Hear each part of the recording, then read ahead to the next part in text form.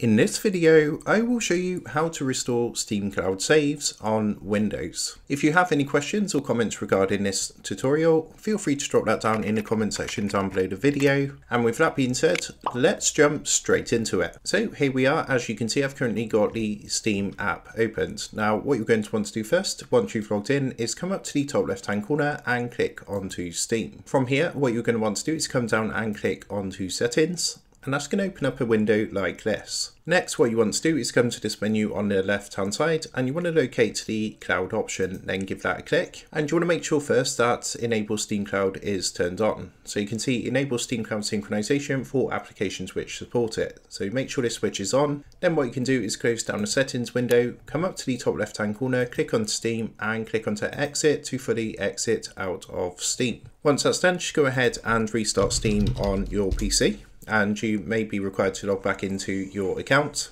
And once you've gone ahead and logged back in, what you're going to want to do is come up to the top left hand corner and click onto library to go to your games library. So next what you're going to want to do is select the game from the left hand side for the cloud save that you want to restore. So in this example, we're going to go ahead and select Tabletop Simulator. And what you want to do is actually right click onto the game in this menu and then come down and click onto properties. What that's going to do is open up a window like this and you want to make sure you're in the general section. So on this menu on the left hand side, you want to make sure you're clicked onto general. Then what you need to do is make sure here where it says Steam Cloud that you have this turned on to keep game saves in the Steam Cloud for this game.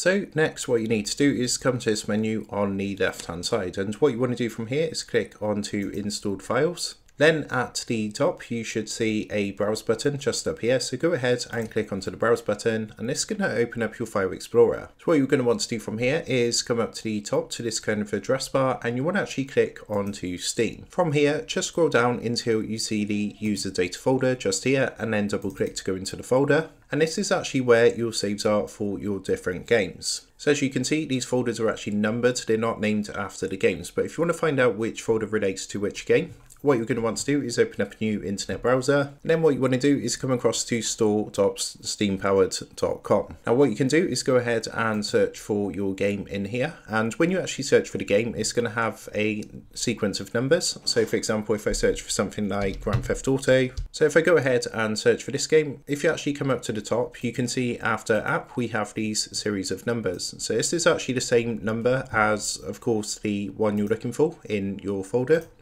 so the user data folder here.